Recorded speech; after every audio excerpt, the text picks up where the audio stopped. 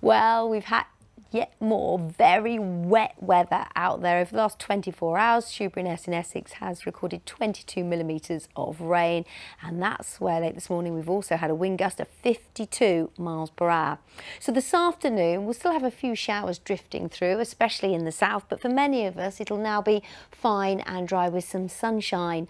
Mild for the time of year for some of us, with highs around 13 to 16 degrees Celsius but that will be offset by the strength of the wind, which could still gust from a west to southwesterly direction between about 40 and 45 miles an hour, although we can't completely rule out something a bit stronger. And then overnight tonight, we will have some dry weather with clear sky, but also some bands of showers racing through. Some of these could be heavy and we can't completely rule out a rumble of thunder.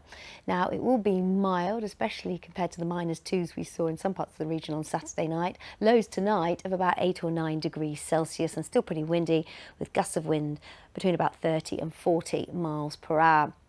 And then tomorrow we've got another area of low pressure tracking towards western Scotland. So unstable air and the Met Office has issued a yellow warning for thunderstorms with the potential for some sudden torrential downpours tomorrow morning of around 15 to 20 millimetres. But this yellow warning is only in place for the extreme south of Essex and parts of Buckinghamshire and Hertfordshire. And there's still a lot of uncertainty as to how far north any wet weather and showers will actually track. And there will be some fine and dry weather out there with some spells of sunshine and it will still be quite a blustery day.